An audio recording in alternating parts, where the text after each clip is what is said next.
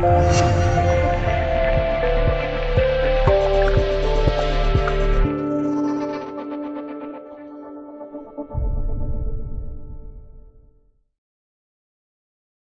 京时间八月八日，据《金融时报》报道，拥有英超球队阿森纳百分之六十七股权的美国体育巨头斯坦克伦克 （Stan Kroenke） 已同俄罗斯金属大亨阿利舍尔乌斯马诺夫 （Alisher Usmanov） 达成协议，将以五点五亿英镑的价格收购其手中百分之三十的阿森纳俱乐部股权。英国当地时间八月七日，克伦克及 KSE 公司曾表示。KSE 公司推动收购阿森纳的全部股份，使得俱乐部私有化，这有助于阿森纳进一步推动各项战略的实施。他们在阿森纳俱乐部的管理方面花费巨大，并非常希望投资能够帮助球队变得更强大。乌斯马诺夫随后发布声明表示：“我决定出售手中的阿森纳股权。”而阿森纳有望成为世界上最好的球队。我祝愿这支优秀的球队能够成为世界最强球队。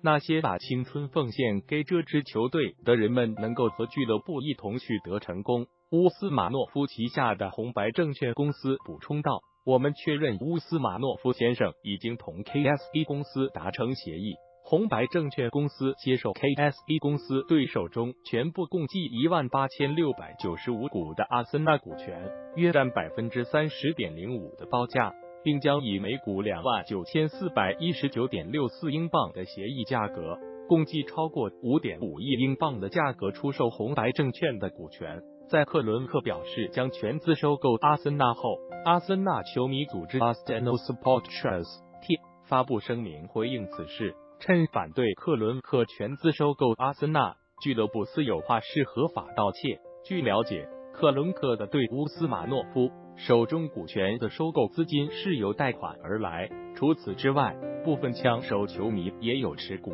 但他们并非为了钱，仅出于关心俱乐部的未来，想要保障俱乐部权益。克伦克若强制一并收购个人球迷手中股权，这将削弱关心俱乐部。发展的球迷声音，阿斯在声明中表示，克伦克将阿森纳俱乐部完全私有化，损害了球迷的权益，并将对俱乐部造成不利影响。一、管理费及红利无需经受任何财务调查；二、无需进行年度股东大会公布财政营收状况；三、移除了独立董事会；四、可将私人债务转嫁至阿森纳，以减轻其其他商业项目财政负担。此前。阿森纳前董事曾炮轰克伦克，克伦克是以赚钱为动力，并没有将阿森纳俱乐部的利益放在心上。但足球是一项富有激情的商业，显然克伦克对阿森纳俱乐部没有激情，非常后悔将股权卖给克伦克。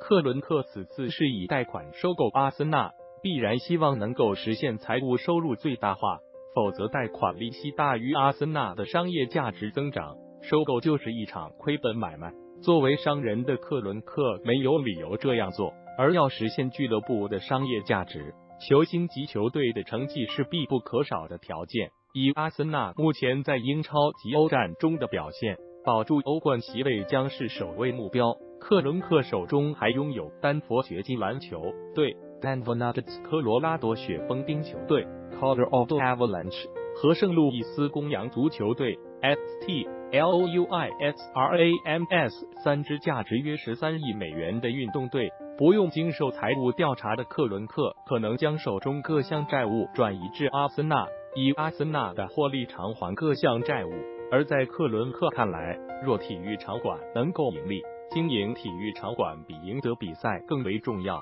二股东乌斯马诺夫持有的百分之三十股权将成为完成球队盈利的障碍。由于不能全面控股，克伦克受限于股东大会。对于热爱阿森纳俱乐部的持股球迷来说，克伦克的盈利希望同球迷希望赢得比赛的目标冲突迭起。收购阿森纳后，俱乐部的财务状况就和克伦克绑在了一起。如何处理球队财务，克伦克无需受到其他制约。延展阅读：代理商伪造公章，比亚迪十一亿营销纠纷殃及阿森纳。